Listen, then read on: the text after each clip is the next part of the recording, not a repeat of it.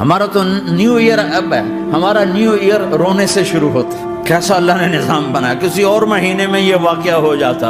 नहीं, साल के शुरू में ये वाक़ रखा है कि हर एक को पता चले कि हाँ हाँ नया साल खुशी मनाने के लिए नहीं होता। नया साल आखरत की तैयारी के लिए होता है कि एक साल चला गया, एक साल और ज़िंदगी से निकल गया। और भी जल्दी से अल्लाह को राज़ी करने का, कोई काम करने को, तोबा करने को अल्लाह को राज़ी कर लें।